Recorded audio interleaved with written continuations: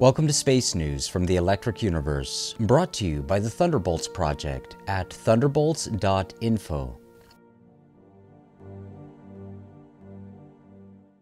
Today, we delve more deeply into a highly promising ongoing investigation in the Electric Universe community.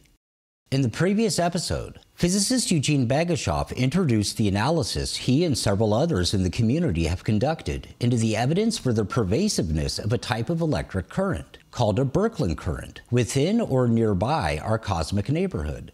Of course, when electric currents can't be directly measured by space probes, the task of inferring their existence in space is complicated. Eugene and his colleagues have followed Dr. Donald Scott's model of the structure of a Birkeland current. In part two of this four part presentation, Eugene outlines in finer detail what he and his colleagues have found to date. In the previous video, we've discussed Dr. Scott's model for cylindrical Birkeland currents and have hypothesized that one major example of such a structure around us might be represented by the so-called local chimney, perhaps with more localized subfilaments on smaller scales inside it. But at the same time, at least one argument against such an idea might be made. If these are indeed strong electric currents, why don't we actually see them? In particular, where is any synchrotron radiation from them? And moreover, if there are strong magnetic fields in this structure, why can't we observe them in some way? The answer to the first part of that question lies in the fact that these are most likely force-free field-aligned currents, just as the ones analyzed in Dr. Scott's works, what that means is that the electric currents are in all points of this structure parallel to the magnetic fields. So this is a minimal energy configuration with little to no electromagnetic stress. And therefore, as the charged particles are not accelerated by the magnetic fields, but rather move right along them, no significant synchrotron radiation is being produced. This is just a plasma current in dark mode, and that's it. The second part of the question is a bit trickier.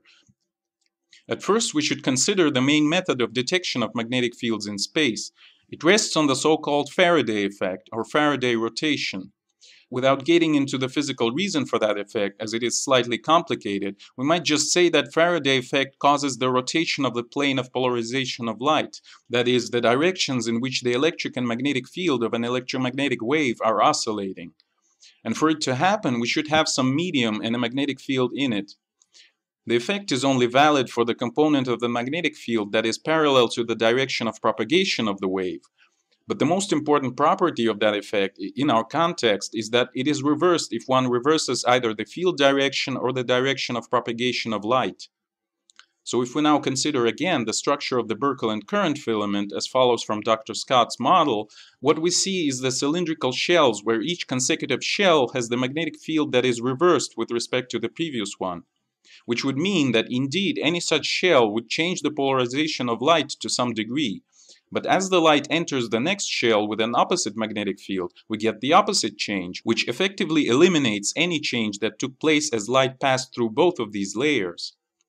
In that way, we might argue that any Faraday effect would be virtually absent, and the best we might count on is seeing some much weaker background magnetic field that the filament as a whole is spiraling around. Well, let's assume then that we can't directly detect the currents themselves. Then what can we detect to at least recognize their presence? One of the possibilities here might be represented by plasma refraction of light, that is, bending of light when it interacts with the charged particles that carry the current itself. Previously, the works of Dr. Gupta and Dr. Dowdy have shown that the bending of light in plasma might alter the trajectory of light rays and, among other things, imitate the hypothetical gravitational lensing of light. It might be expected, therefore, that the areas with higher current density in the galactic neighborhood of the solar system might also impact the measurements of the direction of propagation of light. In general, any sort of inhomogeneity in plasma distribution would introduce various errors if not properly taken into account.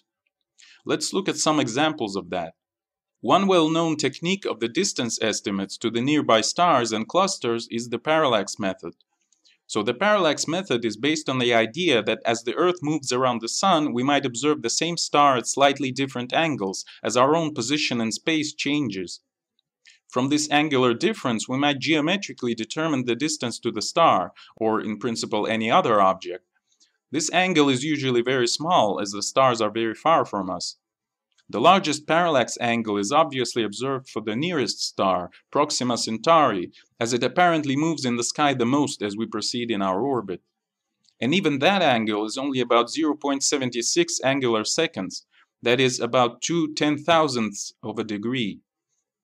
However, the precision of modern observational methods based on space telescopes in principle allows us to measure parallax angles as small as about 10 micro arcseconds, which corresponds to distances of tens of thousands of light years. But let us now consider the situation when the space between us and the star is not empty, but rather filled with refracting plasma. In this case, the reading of the parallax angle might be distorted, and the parallax determination of the distance would be erroneous. One of the famous examples of that is the so-called Pleiades distance problem. So, according to modern astronomy, it is possible to determine the distance to Pleiades cluster at least in two different ways. First, one might do that by looking at smaller stars in it in infrared wavelengths, determine their brightness, or correctly speaking, the absolute magnitude, and then compare that to the apparent brightness or apparent magnitude and get the distance measurement. Applied to Pleiades, this procedure would return a result of about 435 light years. And second, one might utilize the current theory of stellar operation and estimate the mass from the surface temperature. Then, if we're looking at some binary star system in that cluster, we might track their orbits. Since we've already estimated the masses, we might find the real size of the orbit from Kepler's laws, and thus find the distance to them from simple geometrical considerations. In that way, the distance to the cluster was estimated to be about 430 light years. But the problem appeared when these estimates were compared to parallax measurements, especially the ones performed by Hipparcos satellite. The satellite did measure the parallax angle of the cluster, but the according distance turned out to be only about 385 light years. Moreover, some later analyses have shown that Hipparcos systematically gives smaller distances for many other stellar clusters. The later measurements made by the Hubble Space Telescope and radio telescopes from Earth using very long baseline interferometry method seem to discount Hipparcos data also. And finally, the new Gaia satellite, essentially using the same technique as Hipparcos, has also acquired the result which is inconsistent with Hipparcos. This seemed to have ended the debate, basically meaning that something is wrong with Hipparcos itself, although one could argue that the difference could have been caused by different statistical processing of the results. In particular, Hipparcos data was analyzed using a weighted mean of parallaxes for different stars in the cluster, when there seems to be a correlation between distances and distance errors for stars in it. The later estimates were made using an unweighted mean for separate stars in the cluster. Another source of discrepancy could have been the various methods of measuring the parallax itself.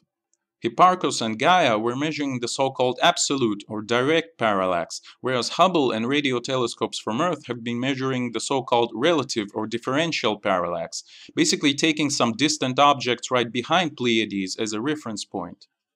So we might assume that the differences in these readings and the need of invoking different statistical procedures for the stellar clusters might have been caused by the refraction of light in plasma in the Pleiades cluster itself or on the way to it.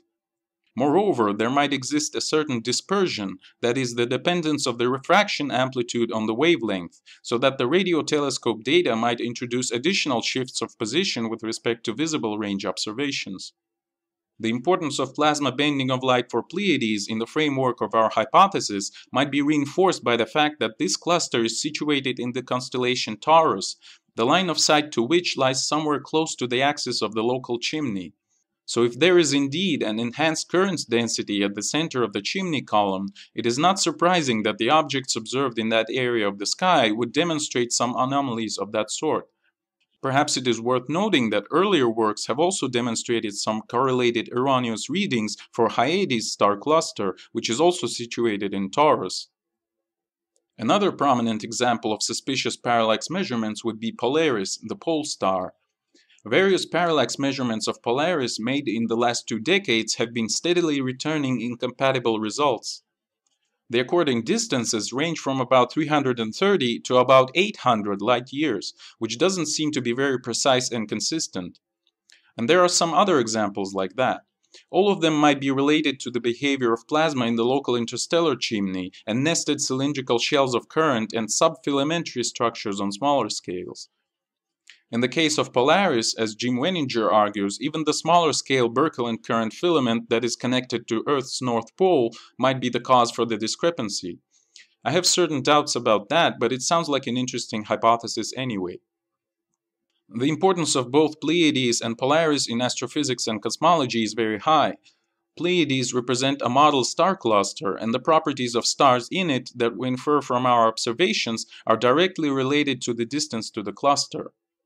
And Polaris is the so called Cepheid variable star. Cepheid variables are widely used in astronomy to determine the distances to various objects, as it is assumed that we know how exactly they work. In particular, it is assumed that there is a direct relation between their pulsation period and their absolute luminosity.